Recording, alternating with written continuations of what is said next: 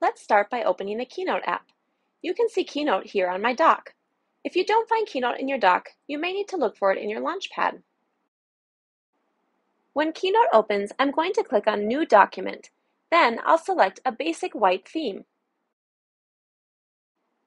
In order to start with a blank white slide, I'm going to click on the text boxes that are already on my slide and click on my Delete key.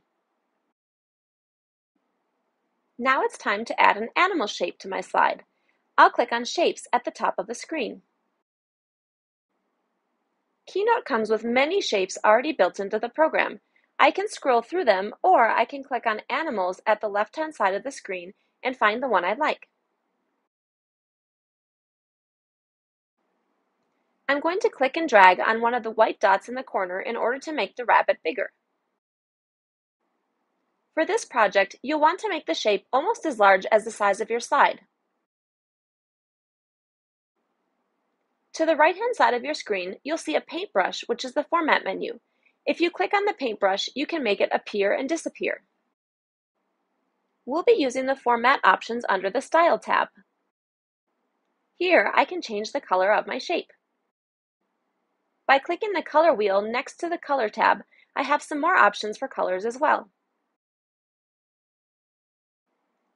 I'm going to add some grass to my scene. In this case, I'm going to type grass into the search bar in order to find the shape I want.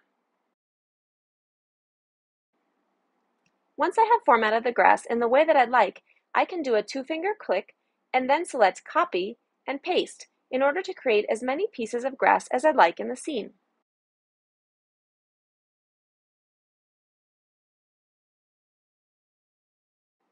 Now it's time to make the rabbit jump. I'll click on the rabbit and select Animate in the Format menu.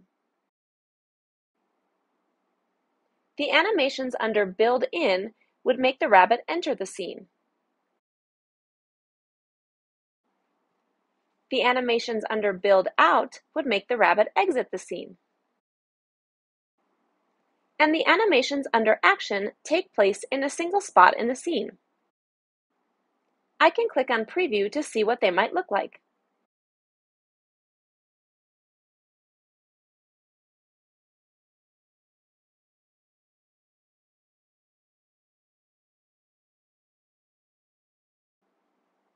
I think I like this bounce one. I'll click on Bounce to select it. Now it's time to save my project. I'll click on the File menu I'll select Export to Animated GIF. I'm going to leave these settings alone. Here, I'll click Save. Now I need to give my file a title and decide where I'm going to save it. The process that we just completed was to export our project as an animated GIF. I still need to save the Keynote version in case I want to do any more edits later. I'm going to give this one a title and save it to my desktop. Here you can see I have the animated GIF version and the Keynote presentation saved to my desktop. Let's try double-clicking on the GIF to see what happens. Hmm, that doesn't look very animated. This is because animated GIFs must be opened with a web browser. Let's try again. I'll do a two-finger click on my animated GIF I'll select Open With and choose a web browser such as Safari. Now you can see my bunny jumping in the grass.